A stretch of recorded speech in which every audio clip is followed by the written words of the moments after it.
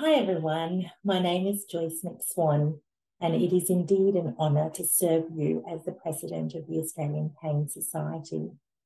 15 years ago, when I embarked on my journey in pain management in the North Queensland region, it was a lonely one.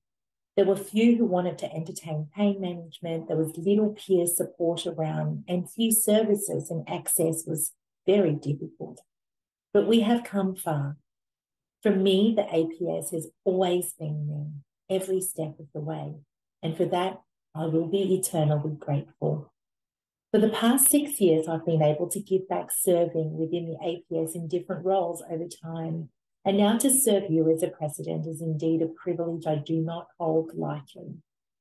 The inclusivity of this society, the wealth of world class knowledge, the richness of our resources, which is primarily its people, it's you.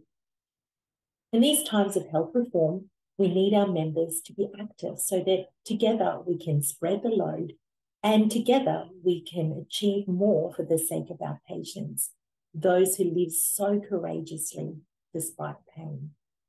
I look forward to meeting as many of you as possible at our upcoming 43rd scientific conference and very much welcome your participation, your ideas, so that together we can continue the good work of our forefathers and leave the legacy of this society to generations to come.